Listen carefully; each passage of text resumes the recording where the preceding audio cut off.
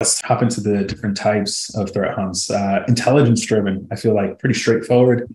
Um, the awesome Joe Slowik provided me some awesome details about APT, whoever, ransomware gang, whoever. He's throwing them all my way. Um, and then, you know, just getting into the weeds of that. What have they been doing recently? Um, oh, they really like LNK. How can we search for that? You know, what does our data look like? Let's get into that, right? Um, data driven. What kind of data do I have? What kind of data do we collect? What has our data shown? For me personally, when I think of data driven, I like to actually think of like really low, like priority signals where it's like, oh, this user was created. It's like, oh, okay, let's figure out if that was legitimate, what's going on there. Um, and then knowledge driven, that one's it, just it, it, comes with experience, right?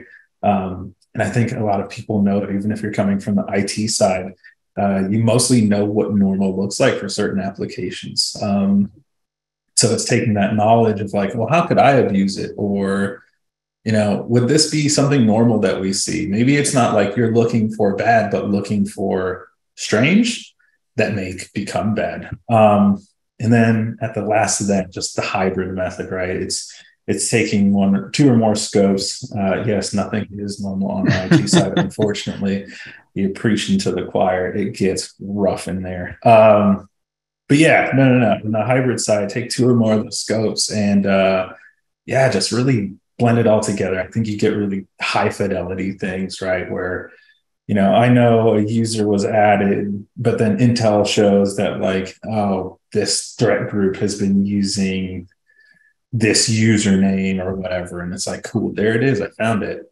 Hunt done, clean up, go to work. Uh, but no, th- there's definitely more that goes into that. But um, yeah, super high fidelity uh, way of doing threat hunts is through hybrid hunts.